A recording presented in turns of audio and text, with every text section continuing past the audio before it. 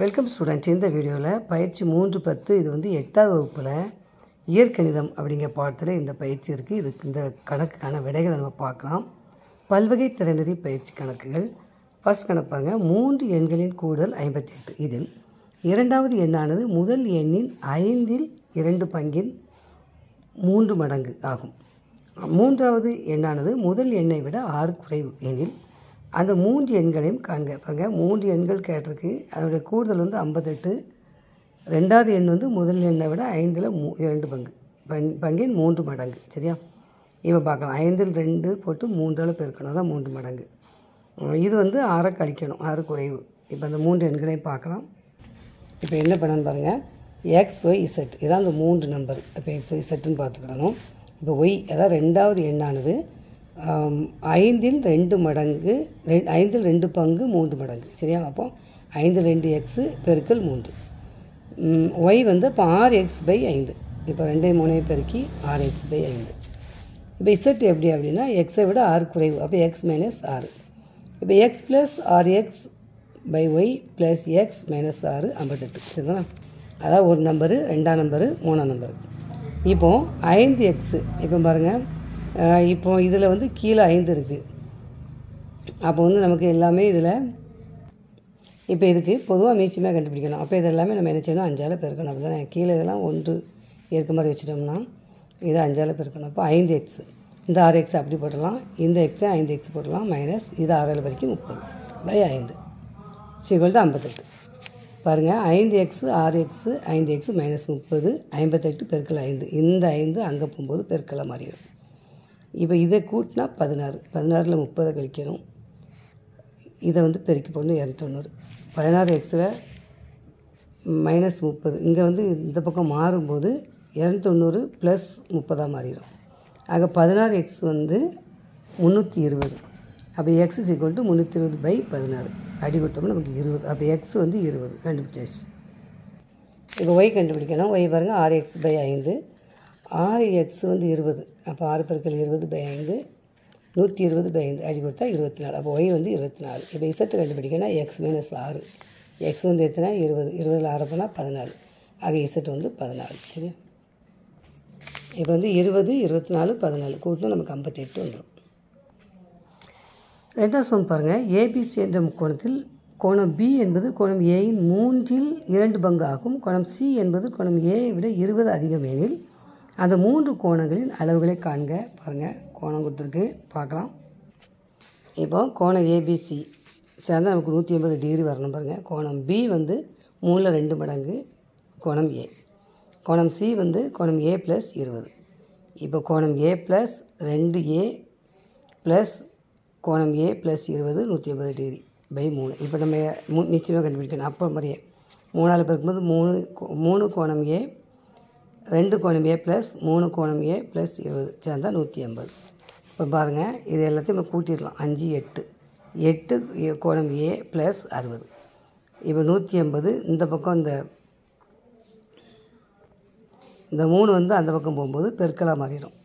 ஆக பாருங்கள் கோணம் ஏ ப்ளஸ் அறுபது சிக்கல்ட்டு ஐநூற்றி நாற்பது இப்போ கோ எட்டு கோணம் ஏ பாருங்கள் ஐம்பத் ஐநூற்றி நாற்பது இந்த ப்ளஸ் வந்து அங்கே வரும்போது மைனஸாக மாறிடும். அறுபது கழிச்சா நமக்கு நானூற்றி எண்பது. அப்போ எட்டு கோணம் ஏ வந்து நானூற்றி ஐம்பது அப்போ கோணம் ஏன்னா நானூற்றி ஐம்பது எட்டால் வகுக்கும்போது அறுபது டிகிரி. இப்போ கோணம் ஏ கண்டுபிடிச்சாச்சு. அடுத்து கோணம் பி கண்டுபிடிக்க நினச்சிடும் மூணில் ரெண்டு பெருக்கல் ஏ அது ஒரு சரியா? இப்போ வந்து அடி கொடுத்தா இருபது நாற்பது. அப்போ கோணம் பி வந்து நாற்பது டிகிரி. கோணம் சி வந்து என்னது? ஏ ப்ளஸ் இருபது. ஏ எத்தனை? ஏற்கனவே நம்ம கண்டுபிடிச்சிருக்கோம் அறுபது. அறுபது ப்ளஸ் இருபது எண்பது டிகிரி. ஆக கோணம் ஏ வந்து அறுபது கோணம் பி நாற்பது கோணம் சி எண்பது. சேர்ந்தால் நமக்கு என்ன வருது? நூற்றி எண்பது வந்துடும் சம் மூணு பாருங்கள் ஒரு இரு சம்பக்க முக்கோணத்தில் சமபக்கங்கள் முறையே ஐந்து ஒய் மைனஸ் ரெண்டு மற்றும் நாலு ஒய் ப்ளஸ் ப்ளஸ் ஒன்பது அலகுகள் ஆகும். அதன் மூன்றாவது பக்கம் ரெண்டு ஒய் ப்ளஸ் ஐந்து அலகுகள் எனில் ஒய்யின் மதிப்பை முக்கோணத்தின் சுற்றளவையும் காண்க. பாருங்கள் மூணு கோணத்துக்கு அளவு கொடுத்தாச்சு. பாருங்கள் மூணு கோணம். இது வந்து ஐந்து ஒய் மைனஸ் ரெண்டு நாலு ஒய் ப்ளஸ் ஒம்பது ரெண்டு ஒய் ப்ளஸ் ஐந்து. இப்போ பாருங்கள் ஐந்து ஒய் மைனஸ் ரெண்டு சமம் நாலு ஒய் ப்ளஸ் நைன் இந்த ரெண்டும் சமமாக இரு சம்பக்கம் முக்கோணம். ஐந்து ஒய் மைனஸ் நாலு ஒய் இப்போ சேர்க்கும்போது ஒய்யெல்லாம் சேர்த்துட்டா இங்கே ஒன்பது இந்த பக்கம் ரெண்டு ஒன்பது ப்ளஸ் ரெண்டாயிரம் ஆக ஐந்தில் நாலு போனால் ஒரு ஒய் பதினோரு அலகுகள். இது வந்து ஒய் ஒய்க்கு வந்து எத்தனை? பதினொன்று சுற்றளவு கண்டுபிடிக்கும் பாருங்கள் ஐந்து ஒய் மைனஸ் ரெண்டு ப்ளஸ் நாலு ஒய் ப்ளஸ் ஒன்பது ப்ளஸ் ரெண்டு ஒய் ப்ளஸ் ஐந்து. எல்லாமே மென்ஷனும் சேர்த்து சுற்றளவு கண்டுபிடிக்கணும். இப்போ ஒய்க்கு வந்து நமக்கு பதினொன்றுன்னு சொல்லிட்டோம். இதை கூ கூட்டணும். பாருங்கள் ஐந்து ஒய் நாலு ஒய் கூட்டினா ஒன்பது ரெண்டு ஒய் கூட்டினா பதினோரு ஒய் ப்ளஸ் பன்னெண்டு. ஏன்னா அங்கே வந்து ஒன்பது அஞ்சும் கூட்டா பதினாலு பதினாலு ரெண்டு பண்ணால் பன்னெண்டு. ஆக பதினொன்று ஒய்க்கு பதினொன்று பன்னெண்டு பன்னெண்டு பெருக்கி பன்னெண்டால் கூட்டணும். நூற்றி இருபத்தொன்று ப்ளஸ் பன்னெண்டு நூற்றி முப்பத்தி மூணு அலகுகள் என்பது சுற்றளவு. அடுத்து கணக்கு நாலு பாருங்கள் கொடுக்கப்பட்டுள்ள படத்தில் கோணம் எக்ஸ் ஓ இசட் மற்றும் கோணம் இசட் ஓய் ஆகியவை நேர்கோட்டில் அமையும். அடுத்துள்ள கோணங்கள் எனில் எக்ஸின் மதிப்பை காண்க. பாருங்கள் இதில் எக்ஸின் மதிப்பு கேட்டிருக்கு. பாருங்கள் கோணம். அதாவது நமக்கு நூற்றி ஐம்பது டிகிரி. ஐந்து எக்ஸ் ப்ளஸ் ஆறு எக்ஸ் மூணு எக்ஸ் மைனஸ் ரெண்டு நூற்றி ஐம்பது டிகிரி. இது எக்ஸை மட்டும் கூட்டினா எட்டு எக்ஸு. இப்போ ஆறில் ரெண்டு போனால் நாலு நூற்றி எண்பது இப்போ எட்டு எக்ஸு இந்த நூற்றி எண்பது அங்கே ப்ளஸ் வந்து இந்த மைனஸ் மாதிரி நாலு. ஆக எட்டு எக்ஸ் வந்து நூற்றி எழுபத்தாறு எக்ஸ் வந்து நூற்றி எழுபத்தாறு எட்டு அளவுக்கு இருபத்தி ரெண்டு. அப்போ எக்ஸின் மதிப்பு எத்தனை? இருபத்தி இரண்டு. பாருங்கள் இந்த படம் தான் நமக்கு அந்த கணக்கில் இருக்குது. இப்போ வந்து எக்ஸ் இருபத்தி ரெண்டு கண்டுபிடிச்சிட்டோம்.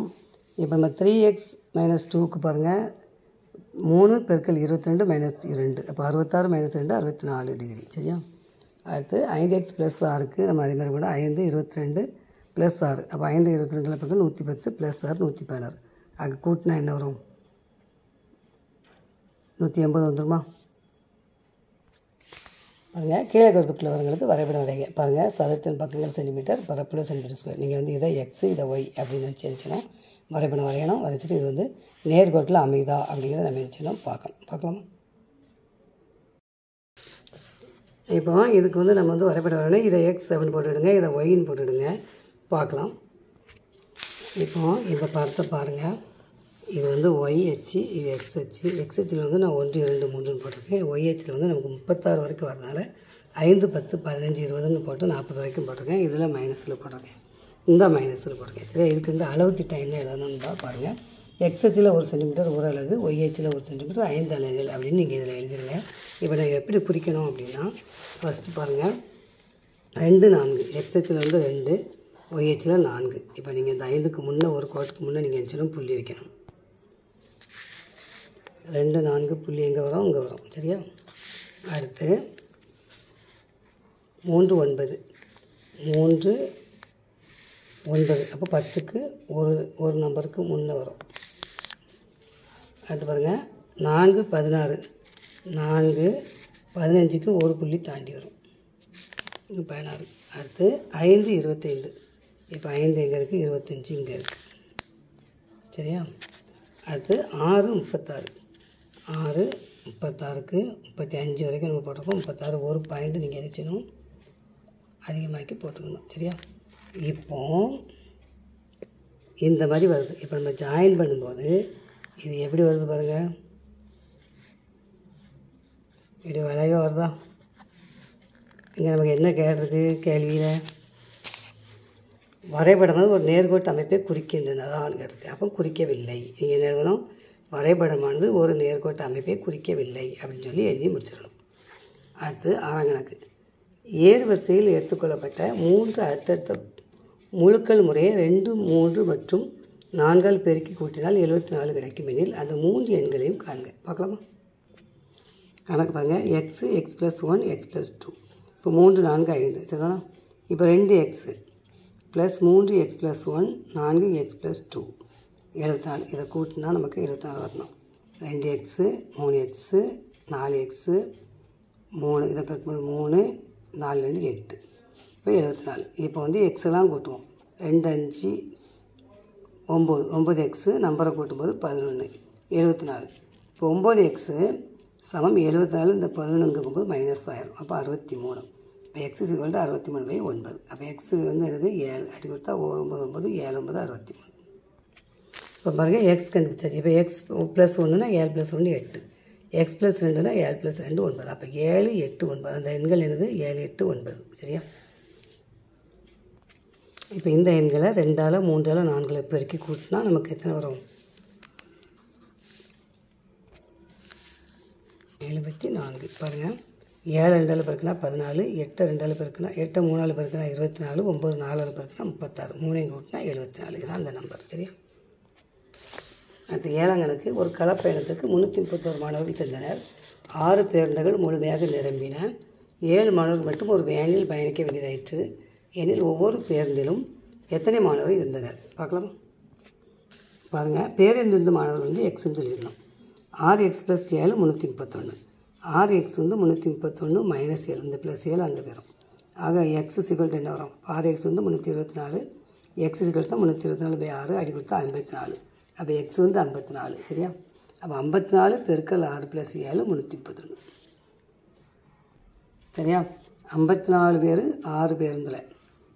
கூடல் ஏழை கூட்டினா முந்நூற்றி முப்பத்தொன்று இடங்கணக்கு ஒரு தள்ளுவண்டி வியாபாரி சில கறிக்கோள்கள் மற்றும் பந்துமுனை எழுதுகோல்கள் என மொத்தம் இருபத்தெட்டு பொருட்களை வைத்திருக்கிறார். ஒரு குறிப்பிட்ட நாளில் அவரால் அனைத்து கறிக்கோள்களையும் பந்துமனை பேனாக்களையும் விற்க முடிந்தது. கரிக்கோல்கள் ஒவ்வொன்றும் ரூபாய் பதினைந்துக்கும் பந்துமுனை பேனாக்கள் ஒவ்வொன்றும் ரூபாய் இருபதுக்கும் விற்பனை செய்த பிறகு அந்த வியாபாரியிடம் ரூபாய் முந்நூற்றி எண்பது இருந்தது. எனில் அவர் விற்ற கரிக்கோல்களின் எண்ணிக்கை யாது?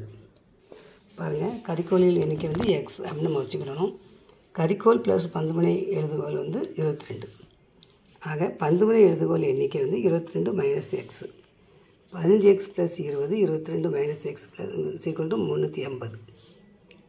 பதினஞ்சு எக்ஸ் ப்ளஸ் நானூற்றி நாற்பது இருபது இருபத்தி ரெண்டு பேருக்கு நானூற்றி நாற்பது இருபது எக்ஸையும் இருக்கும்போது இருபது மைனஸ் இருபது முந்நூற்றி எண்பது. ஆக மைனஸ் அஞ்சு எக்ஸு ஏன்னா அங்கே வந்து இருபது மைனஸ் இருபதுலேருந்து பதினஞ்சு கழிக்கும்போது மைனஸ் அஞ்சு எக்ஸ் ப்ளஸ் நானூற்றி நாற்பது முந்நூற்றி எண்பது. ஆக மைனஸ் அஞ்சு எக்ஸு முந்நூற்றி எண்பது மைனஸ் நானூற்றி நாற்பது இந்த நானூற்றி நாற்பது அங்கே போகும்போது மைனஸ் ஆயிரும். ஆக மைனஸ் அஞ்சு எக்ஸ் வந்து மைனஸ் அறுபது இதுலேருந்து கழிச்சா மைனஸ் அறுபது. ஆக எக்ஸ் இக்குவல் டு மைனஸ் அறுபது பை மைனஸ் அஞ்சு மைனஸ் மைனஸ் அடி கொடுத்துடலாம். ஓரஞ்சு அஞ்சு பன்னெண்டு அஞ்சு அறுபது. ஆக எக்ஸ் வந்து பன்னெண்டு. அப்போ கறிக்கோளின் எண்ணிக்கை வந்து பன்னிரெண்டு சரியா? இப்போ பாருங்கள் ஒன்பதாம் கணக்கு. ஒய் சம எக்ஸு ஒய் சமம் டூ எக்ஸ் ஒய் சமம் த்ரீ எக்ஸ் மற்றும் ஒய் ஐந்து எக்ஸ் ஆகிய சமன்பாடுகளின் வரைபடங்களை ஒரே வரைபடத்தவரில் வரைக. இந்த வரைபடங்களில் எதுவும் சிறப்பை உங்களால் காண முடியுதா? பார்க்கலாம். இப்போ பாருங்கள் நாமளே கொடுத்துக்கணும். ஒய் வந்து எக்ஸுக்கு சமம். அப்போ எக்ஸில் மைனஸ் ஒன்றுனா ஒய்க்கு மைனஸ் ஒன்று எக்ஸில் ஜீரோனா ஒய்க்கு ஜீரோ எக்ஸில் ஒன்றுனா ஒய்க்கு ஒன்று ரெண்டுனா ரெண்டு. இதுமாதிரி நீங்கள் இன்னும் நிறைய நம்பர் போட்டுக்கலாம். அடுத்து ஒய் வந்து ரெண்டு எக்ஸ் இப்போ எக்ஸில் வந்து மைனஸ் ரெண்டுனா ஒய் வந்து மைனஸ் நாலு. இங்கே மைனஸ் ஒன்றுனா மைனஸ் ரெண்டு. பூஜ்ஜியம்னா பூஜ்ஜியம்னா ஒன்றுனா ரெண்டு. இப்போ மூணு எக்ஸ்னா எக்ஸில் ஒன்றுனா ஒயில் மூணு. அப்போ ஒன்றுனா மூணு ரெண்டுனா ஆறு. இன்னும் மூணுனா ஒம்பது இந்த மாதிரி நினச்சலாம் நீங்கள் போட்டுக்கலாம். அஞ்சு எக்ஸும்போது ஒன்றுனா அஞ்சு. மைனஸ் ஒன்றா மைனஸ் அஞ்சு அதுமாதிரி ஒன்றுனா அஞ்சு ரெண்டில் பத்து. இந்த மாதிரி நம்ம நம்பர் போட்டுட்டு இதுபடி நம்ம என்ன பண்ணணும்? வரைபடத்தில் குறிக்கணும். இப்போ நம்ம வரைபடத்தை பார்க்கலாம்.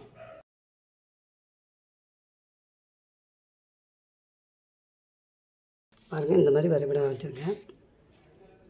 இதில் அளவு அளவுங்க எக்ஸ்எச்சில் ஒரு சென்டிமீட்டர் ஒரு அழகு ஒய்ஹெச்சில் ஒரு சென்டிமீட்டர் ஒரு அழகு நம்ம இப்போ என்ன பண்ணணும்? இப்போ ஃபஸ்ட்டு நம்ம இந்த நம்பர்லாம் குறிப்போம். எக்ஸில் மைனஸ் ஒன்று ஒயில் மைனஸ் ஒன்று எக்ஸில் ஜீரோ ஒயில் ஜீரோ ஒன்று ரெண்டு. குறிக்கலாமா இப்போ பாருங்கள் மைனஸ் ஒன்று மைனஸ் ஒன்று பூஜ்ஜியம் பூஜ்ஜியம் ஒன்று ஒன்று ரெண்டு ரெண்டு. இப்போ நம்ம இதை இணைக்கணும் கோடு போட்டு. பாருங்கள் அந்த மாதிரி கோடு போட்டு இதில் என்ன எழுதணும்? ஒய் எக்ஸ் சரியா? இப்போ வந்து ஒய் ரெண்டு எக்ஸ் இதை குறிக்க போகிறோம் மைனஸ் ரெண்டு மைனஸ் நாலு மைனஸ் ஒன்று மைனஸ் ரெண்டு பூஜ்ஜியம் பூஜ்ஜியம் ஒன்று ரெண்டு. பார்க்கலாம். இப்போ பாருங்கள் மைனஸ் ரெண்டு மைனஸ் நாலு மைனஸ் ஒன்று மைனஸ் ரெண்டு ஒன்று ரெண்டு. பூஜ்ஜியம் பூஜ்ஜியம். சரிதானா இப்போ குறிக்கலாமா கோடு போடலாமா? பாருங்கள் இந்த கோடு போட்டு இது வந்து ஒய்ஸுகள் டூ எக்ஸ்னு போடணும். இப்போ வந்து ஒய்ஸுகள் த்ரீ எக்ஸ் மைனஸ் ஒன்றுனா மைனஸ் மூணு ஜீரோனா ஜீரோ ஒன்றுனா மூணு ரெண்டுனா ஆறு. குடிக்கலாமா? இப்போ பாருங்க மைனஸ் ஒன்று மைனஸ் மூணு பூஜ்ஜியம் பூஜ்ஜியம்.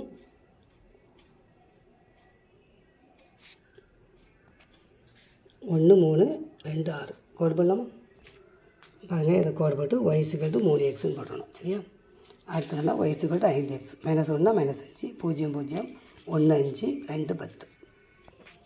பாருங்கள் மைனஸ் ஒன்று மைனஸ் ஐந்து பூஜ்ஜியம் பூஜ்ஜியம் ஒன்று ஐந்து ரெண்டு பத்து. கோடு போட்டலாம் பாருங்கள் கோடு போட்டாச்சு ஐந்து எக்ஸ் இப்போ எல்லாத்துக்கும் நம்ம கோடு போட்டோம். இந்த இது எப்படி இருக்குதுன்னு பாருங்கள் இந்த அமைப்பை பாருங்கள் என்ன கேட்டிருக்கு? என்ன சிறப்புன்னு பாருங்கள் பாருங்கள் அனைத்து கோடுகளும் ஆதிப்புள்ளி வழியாக செல்கிறது. இதை நீங்கள் என்ன செய்யணும்? எழுதணும்.